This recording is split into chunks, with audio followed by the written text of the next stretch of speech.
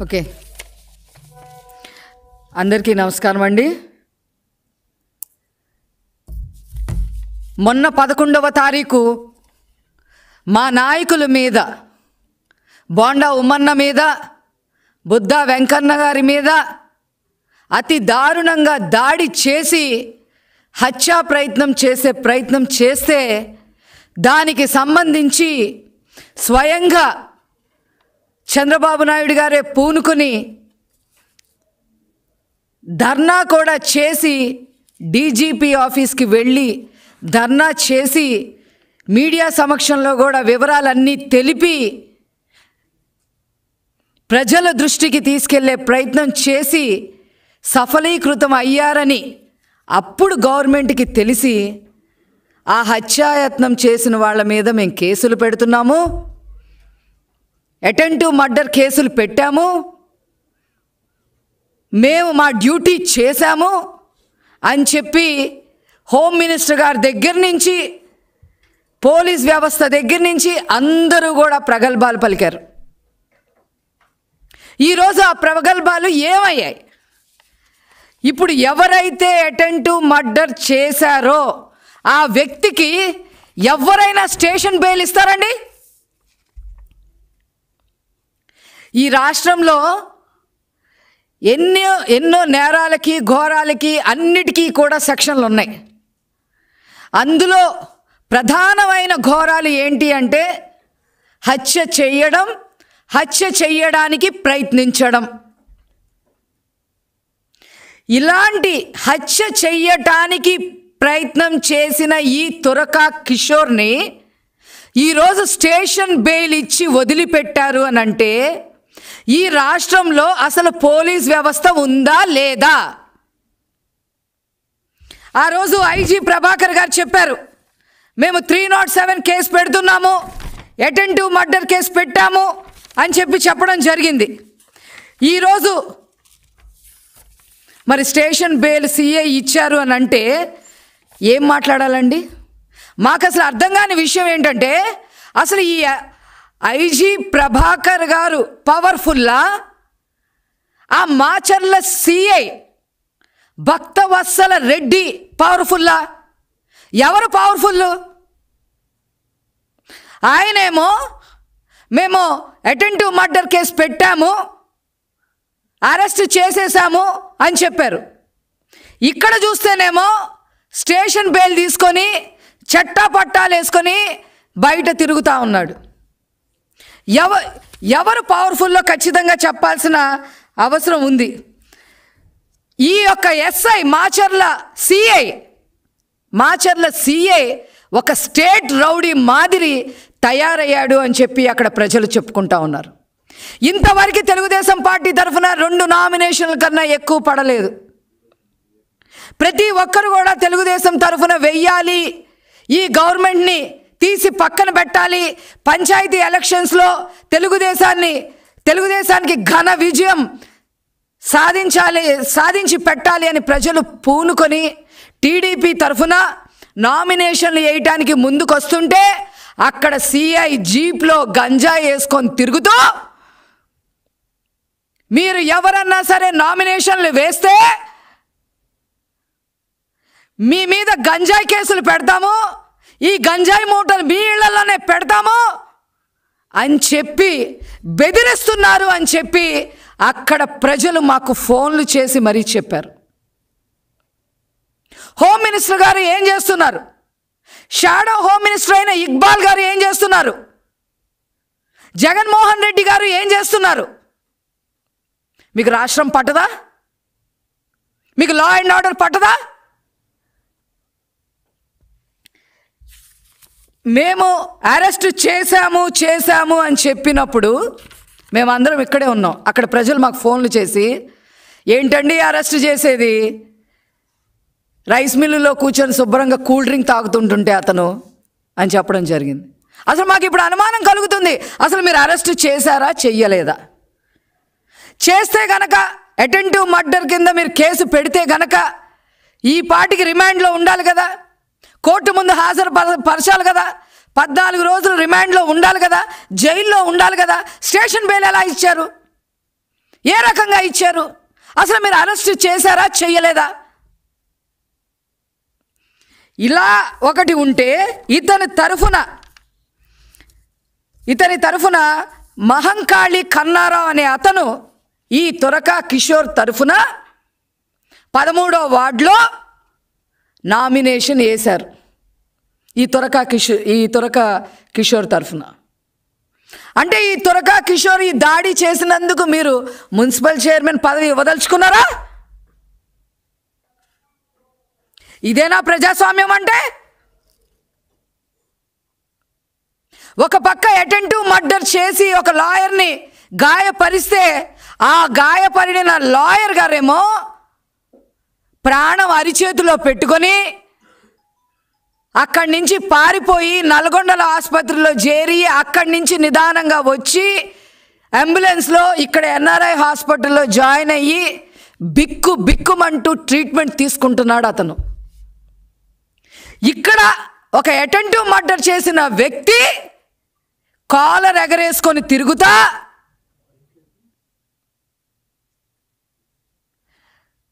ఒక వార్డులో నామినేషన్ వేయిపించాడు అని అంటే ఈ రాష్ట్రంలో అసలు ఏం జరుగుతుంది?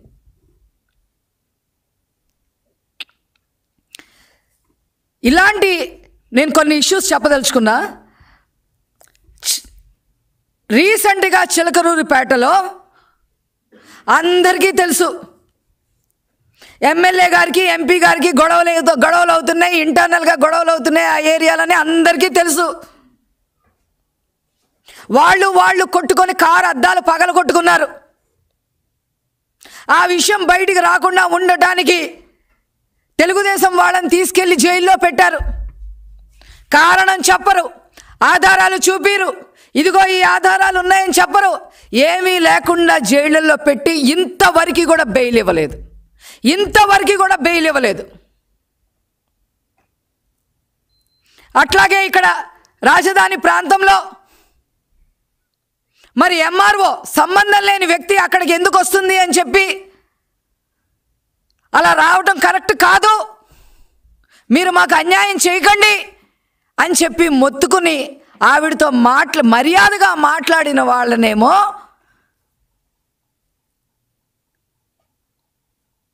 అరెస్ట్ చేసి బెయిల్ ఇవ్వకుండా ఈ రోజు కూడా వాళ్ళు జైల్లోనే ఉన్నారు.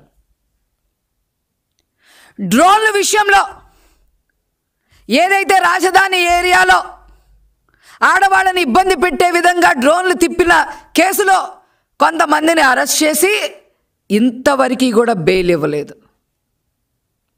ఈ మధ్య ఈ వైసీపీ ఏ ఏపీఐఏసీ చైర్మన్ ఆవిడ్ని కలవడానికి కొంతమంది వెళ్ళి గులాబీ పువ్వులు ఇచ్చే ప్రయత్నం చేస్తే వాళ్ళని పట్టుకొని స్టేషన్లో వేసి ఇంతవరకు వాళ్ళకు కూడా బెయిల్ ఇవ్వలేదు.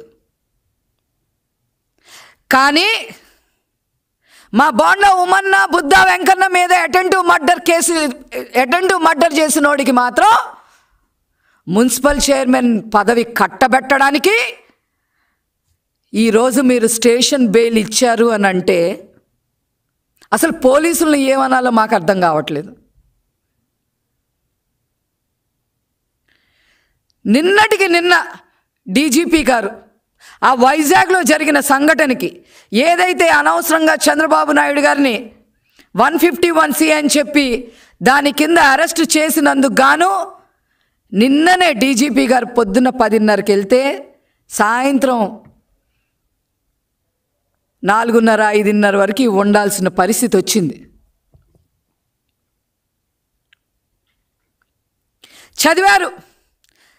స్వయంగా జడ్జి గారే చెప్పారు అసలు ఆ ఫిఫ్టీ వన్ ఫిఫ్టీ వన్ ఏంటో చదవండి మీరు ఇచ్చిన నోటీస్ ఏంటో చదవండి యో మీరు గవర్నమెంట్ కోసం కాదు పనిచేసేది మీరు ఇండివిజువల్ కోసం ఇండివిజువల్స్ కోసం పనిచేయాలి అని అన్నీ కూడా కోర్టు కామెంట్ చేయడం జరిగింది నిన్నే. కనీసం ఇంత జరిగాకైనా సరే పోలీసులో మార్పు రావాలి కదండి. దేనికి భయపడుతున్నారు మీరు? వివేకానందరెడ్డి గారి లాగా ఈ పోలీసులు ఎవరన్నా హత్య చేసేస్తారేమోనని భయపడుతున్నారా ఏంటి ఈ పోలీస్ డిపార్ట్మెంట్?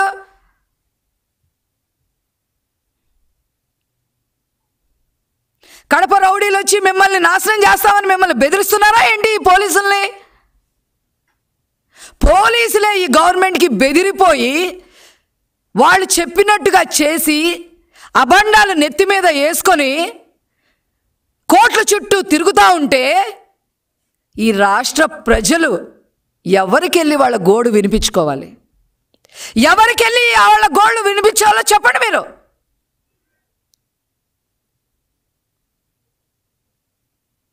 ఎప్పుడు చూడని విషయాలు ఇట్లాంటి ఎప్పుడూ లేదు ఇలాంటి చరిత్రలో ఏ దేశంలో కూడా లేదు ఏ రాష్ట్రంలో కూడా లేదు. ఎవరైనా సరే పోలీసుని చూసి ప్రజలు రెస్పెక్ట్తో వాళ్ళకి హై రెస్పెక్ట్స్ ఇస్తారు మమ్మల్ని కాపాడేవాళ్ళు అని చెప్పి. ఈరోజు ఈ పోలీస్ వ్యవస్థ ఈ రాష్ట్రంలో ఆ రెస్పెక్ట్ పోగొట్టుకుంది. తీరు తెన్ను లేకుండా అటెంటివ్ మర్డర్లు చేసిన వాళ్ళకి స్టేషన్ బెయిల్ ఏంటి?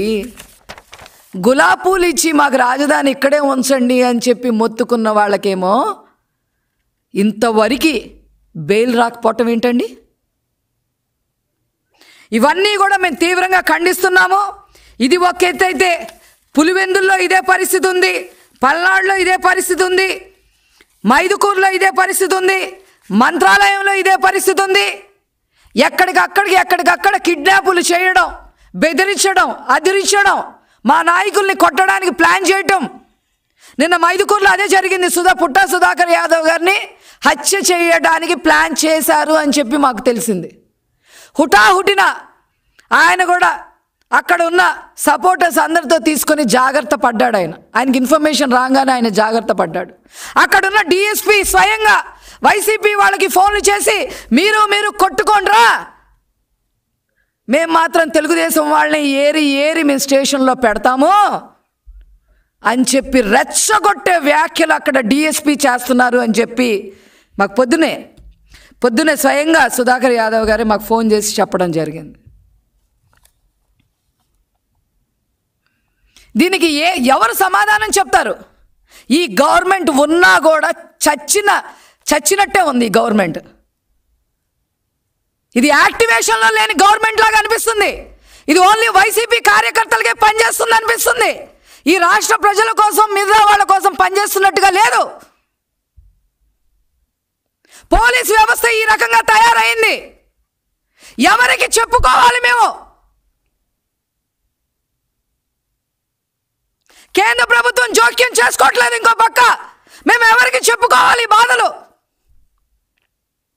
ఏంటి ఈ వ్యవస్థల్ని ఇంత నాశనం చేసే పని ఎందుకు పెట్టు మీరు ఎందుకు చేస్తున్నారు? వైసీపీ వాళ్ళు సమాధానం చెప్పాలి. నవరత్నాలు నవరత్నాలు అని చెప్పి ఓ చెప్పుకు తిరుగుతున్నారుగా? మీరు నిజంగా మంచి చేస్తే మీకు ఓట్లు వేస్తారుగా మీరు ఎందుకు భయపడుతున్నారు? ఎందుకు తెలుగుదేశం నాయకులు కిడ్నాపులు చేసే ప్రయత్నం చేస్తున్నారు? ఎందుకు అరాచకం సృష్టిస్తున్నారు? యునానిమస్ చేసుకోవాలని ఎందుకు అరాచకం సృష్టిస్తున్నారు మీరు? మీకు దమ్ము ధైర్యం ఉంటే ప్రజల చేత ఓటేయించుకోవచ్చుగా? ఇంత అరాచకమా ప్రజలన్నీ కూడా గమనిస్తున్నారు. మీరు రేపు లోకల్ బాడీ ఎలక్షన్స్లో చిత్తు చిత్తుగా ఓడిపోవటం తథ్యం. మీ ఆటలు సాగవు. ఎవ్వరు కూడా భయపడరు మీకు. ఏం చేస్తారండి? మహా అయితే ప్రాణం తీస్తారు అంతేగా? అందుకనే ఏం చేయగలరు మీరు? ఈ బెదిరింపులకి భయపడేది లేదు. ఖచ్చితంగా ప్రజాస్వామ్యాన్ని నిలబెట్టాలి అనే ఎప్పుడు చంద్రబాబు నాయుడు గారు ఆయన ఫస్ట్ ఎజెండా అదే. ఎప్పుడు ప్రజాస్వామ్యాన్ని కాపాడే విధంగానే కాపాడే విధంగానే మన సిద్ధాంతాలు ఉండాలి మన నడవడి ఉండాలని పదే పదే చంద్రబాబు నాయుడు గారు మా అందరికీ చెప్తూ ఉంటారు. మా ప్రాణాలు పోయినా పర్వాలేదు కానీ ప్రజాస్వామ్యాన్ని ఖచ్చితంగా కాపాడతామని చెప్పి ఈ సందర్భంగా మనవి చేస్తూ నేను సెలవు తీసుకుంటున్నాం. Thank you